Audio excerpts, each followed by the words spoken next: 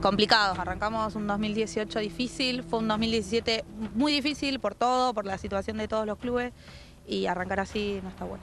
A ver, me decías recién fuera de cámara que se llevaron hasta los foquitos, quisieron prender fuego eh, lo, que lo que no pudieron robarse, bueno, hasta una puerta se llevaron, eh, han hecho un trabajo importante, ¿no? Se llevaron de todo, cosas deportivas como palos, bochas, un balde entero de bochas con 100 bochas, eh, un equipo de arquero, cosas de construcción, de electricidad, luz, materiales de cerámicos, rompieron además muchas cosas, foquitos, los foquitos de los bancos, foquitos de, de los cuartitos de donde guardamos las cosas, mesas, sillas, de todo. Calculo que debe ser gente muy chiquita porque no entra cualquiera.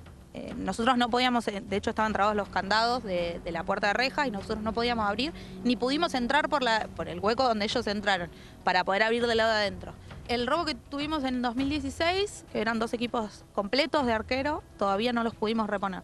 Repusimos uno, eh, con mucho esfuerzo, con mucho trabajo de las propias nenas, porque vinieron rifas, pizzas y cosas para, para poder comprarlos, y el otro todavía no lo habíamos podido comprar. Así que ahora no sabemos. La verdad es que arrancamos el primero de febrero, no tenemos palos, no tenemos bochas, nos llevaron una pila de conos enteras.